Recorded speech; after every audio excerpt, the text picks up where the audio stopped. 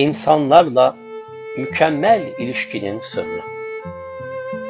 Dünyada insanlara istediğini yaptırmanın tek bir yolu vardır.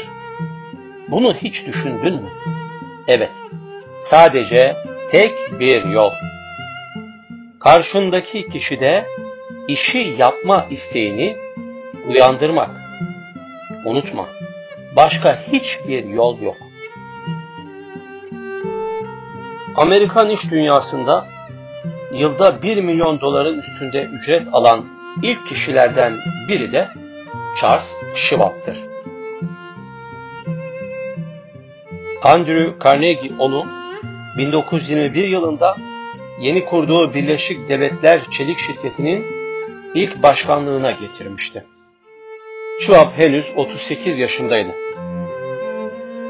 Andrew Carnegie Niçin Schwab'a yılda 1 milyon dolar veya günde 3 bin dolardan fazla para ödedi? Niçin? Schwab bir dahi miydi? Hayır. Schwab çelik üretimi konusunda diğer insanlardan daha çok şey mi biliyordu? Hayır. Charles Schwab bana yanında çalışanların pek çoğunun çelik üretimi konusunda ondan daha bilgili olduğunu anlattı. Schwab bu paranın kendisine insan yönetimi konusundaki yeteneği nedeniyle ödendiğini söyledi. Bunu nasıl başardığını ona sordum. Sırrını sana kendi sözleri ile aktaracağım. Bu sözler bronz bir levhaya yazılıp her evin, her okulun, her dükkanın, her ofisin duvarına asılmalı. Eğer uygulayabilirsek bu sözler sadece bizlerin değil herkesin yaşamını değiştirebilir. Sahip olduğum en değerli niteliğin insanlarda çalışma isteği uyandırabilme ve onların coşkuyla çalışmalarını sağlama yeteneği olduğunu biliyorum. Ve bunu onları yüreklendirmek takdir etmek için kullanıyorum. Üstleri tarafından eleştirilmek kadar insanın çalışma hevesini kıran hiçbir şey yoktur.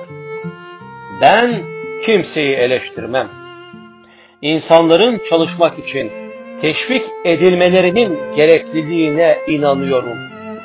Hataları görmezlikten gelir, övgü için fırsat kollarım bir şeyi çok beğenirsem bunu içtenlikle belirtir, övgü yağdırırım. İşte Charles Schwab'ın yaptıkları bunlardı. Peki sıradan insanlar neler yapıyorlar? Bunun tam tersini. Bir şeyden hoşlanmadıklarında aslarına bağırıp çağırıyorlar. Beğendiklerinde ise hiçbir şey söylemiyorlar eski bir beyit şöyle der. Kötüyü yap bir kere, kalmaz hiçbir söz işitmediğin. İyiyi yap iki kere, sesini duy, sessizliğin. Hayatım boyunca dünyanın birçok yerinde pek çok insanla karşılaştım, diyor Charles Schwab. Onaylayıp takdir edildiği zaman eleştirildiği zamana oranla çok daha fazla çaba harcamayan tek kişiye bile rastlamadım. Charles Schwab tüm samimiyetiyle Andrew Carnegie'nin olağanüstü başarısının en belirgin nedeninin bu olduğunu söylüyor.